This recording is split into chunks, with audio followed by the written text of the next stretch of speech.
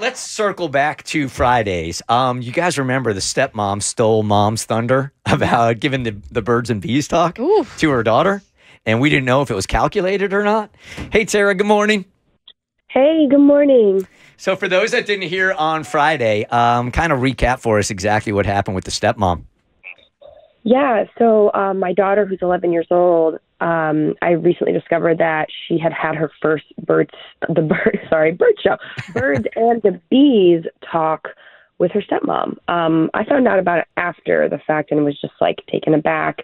Um, as a mom, I wanted to be the one to tell her first, but you know, such is the situation. But I was stuck wondering if I have a right to be upset or if I should reach out to her because the situation is complicated. I don't really have a good relationship with the stepmom. Uh, she's a lot younger, and she tries to be more of a friend to my daughter than than anything else. So I just I was worried that you know m- I'm going to be undermined and kind of sidelined in this situation.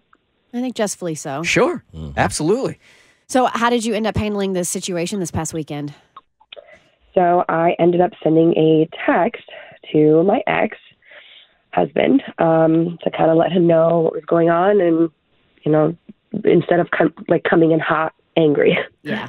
So, um, so I actually want to read it to you guys if that's okay. Sure. Yeah. Yeah.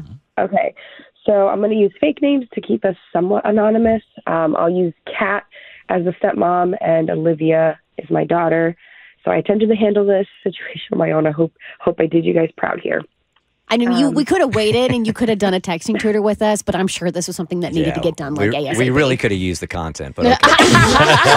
Selfish. Fine. I can I can totally screenshot and send it to you. Yeah. Yeah, go for it. All right. So, how did the text exchange go? Okay, so I sent to my ex, hey, I found out that Kat had talked to Olivia about sex. Do you know how that conversation came about? No clue, didn't even realize that conversation had taken place. Well, that's a red flag. I, mm. Right. So I said, yeah, Olivia said something that prodded me to ask where she had heard that from, and she said from Kat. When I pushed a little further, Olivia said Kat had given her the sex talk. He says, I'm sorry about that. Again, had no clue. I'll talk to Kat. So I said, thanks. I'm glad the two of them have open dialogue, but I prefer to have been the one to give her that talk. At minimum, I'd like to be made aware when those conversations do happen. He said, I get it. So It seems like it was I thought- productive. Mm-hmm. yeah, seemed I like it. thought we handled the situation well, and that was that. But then Kat texted me later that night, and y'all, okay, Oh, that y'all. Yeah, doesn't no, here we that's go. not a good. That's y'all. a loaded y'all. y'all. Head tilt. I'm a transplant. I'm a transplant in Atlanta, so like sometimes it, it comes out now. um, so, I so Kat says, Olivia trusts me, and I'm not going to jeopardize that trust by telling you everything we talk about. Oh boy. Eh, she I comes had in to fighting. Yep, deep breath before responding. Me, I'm glad the two of you have established a trusting relationship. As her mom, I was looking forward to having that conversation with her. It's an important milestone conversation to have with your kid. The fact you had it and didn't even give me a heads up that it had happened felt very disrespectful. You can have a trusting relationship with Olivia and a respectful one with me. That's all I ask. Come on now. Okay. Yeah. Okay. Yeah. Look at you, thought it was a Tara, great finding your power. Yes. Yeah. Thank you. But then this little cat says, Oh no! This no. little Oh cat. no. Meow.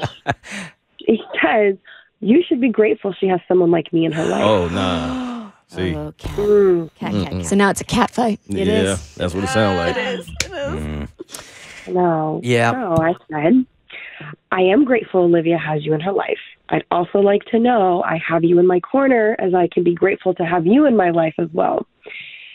And then she said, and this is why Olivia doesn't like to talk to you. You're guilt trip. Oh nah, see? She just being combative. a guilt trip. I'm like, okay, so I send back, that wasn't a guilt trip. And the fact you took it that way says more about you than it does me. Mm-hmm. From here on out, I think it's best I speak to Cal and only Cal when it pertains to Olivia. Yeah, hundred percent. You handled that so well. You really did, Tara. so well. A lot of patience and Um, maturity. Thank do you want to follow it up by confessing to us you went over to a house and deflated her tires or something? Because this sounds really high road here, man. Maybe me like maybe 10 years ago would have. There's nothing else you can really do here. I mean, this is such a common story where stepmom and mom, there's egos involved here. Mm. She's clearly in the wrong and is just digging in. There is nothing you're going to be able to say to her to change her mind on this. The only thing you can do is go through your ex. Yeah. Right. Yeah. And so that's what I did. I, I screenshot the text and I sent them to I sent them to him and I'm just like, here, you can deal with her little sass now. Um, and I just, you know, it's hard. I wish co-parenting wasn't this hard. Yeah, it shouldn't have to be. Shouldn't have to. You did the right thing, though. You, did- handle, you really it handled well. it beautifully, Tara. Thanks, guys. I'm glad you're on my side. All right. Thanks for sharing with us. Appreciate you. Yes, thank you. Uh, have a good day. The Bert Show.